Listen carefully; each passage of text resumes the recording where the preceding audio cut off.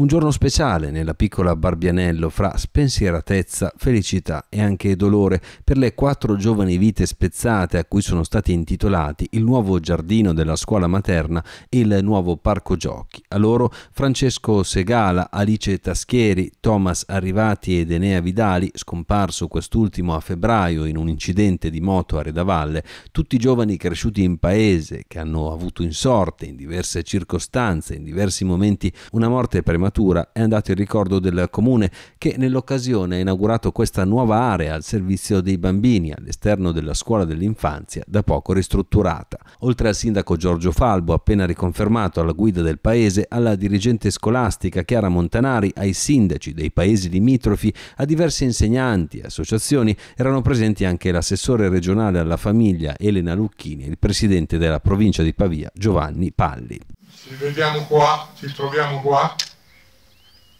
perché per, per onorare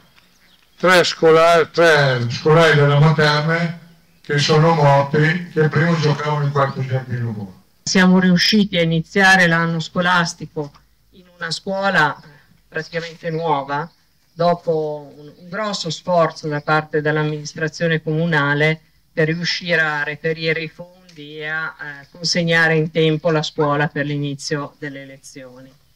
Eh, questo parco, che adesso è stato piantumato e quindi è ancora, eh, è ancora in, eh, in fieri, ecco, ehm, rappresenta un po' il completamento insieme al parco giochi che c'è nella, nell'area adiacente che sarà a disposizione della scuola durante le lezioni e a disposizione di tutti quando poi l'asilo è chiuso.